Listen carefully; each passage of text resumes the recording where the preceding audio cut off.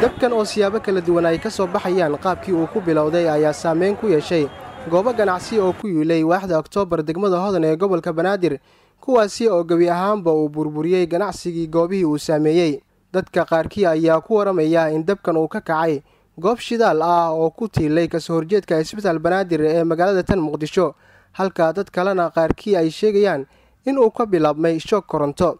Waxaase la xaqiijiyey dhaawaca laba qof oo uu saameyn ku yeeshay dabka kuwaasi oo loo qaaday mid ka mid ah isbitaalada ku yaalla magaalada muqdisho. Dadka deegaanka iyo kuwo kale ee ka agdhowaa goobta ayaa gurmud la soo gaaray goobaha dabku uu saameeyey iyadoo sidoo kale goobta ay soo gaareen ciidanka iyo gaadiidka debdemiska dowladda hoose ee xamar kuwaasi oo markii dambe ku guulaystay demiska dabka haddana dabkii wacnaha waan diminay waxaan ugu mahad celinaa maarata gurmudkii iyo shacabkii u soo gurmaday daminta macnaha dabka.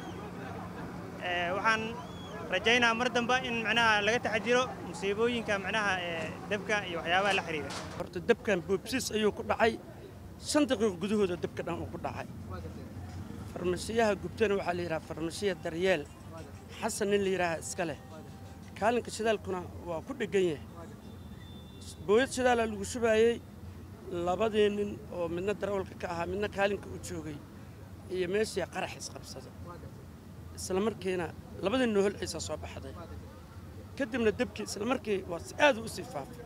Labada nin ayagoo holcayaanay soo baxeen ayagoo ordaayaan oo laakiin holac ka daba ordaayay soo baxeen.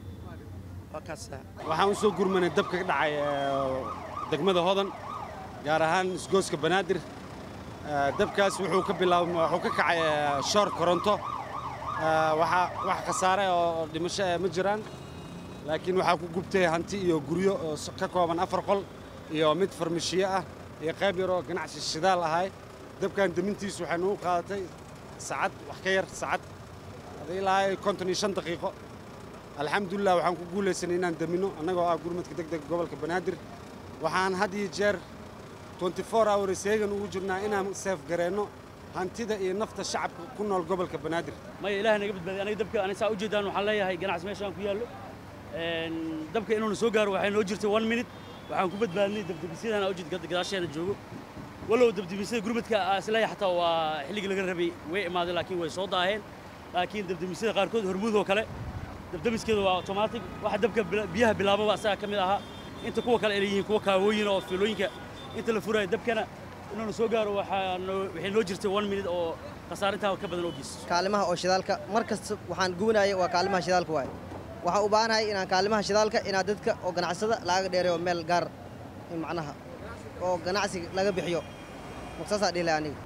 Sidaa idiin muuqataba halkan waxaa ka muuqanaya burbur lixaad leh iyo saamayn xoog leh uu geystay dabkii saaki ka kacay goobaha ganacsi ee ku yaalla degmada hodan ee gobolka banaadir waxaa sidoo kale idiin muuqanaya dadyo aad u fara badan kuwaasi oo u soo gurmaday dabkii saakay ka kacay goobaha ganacsi.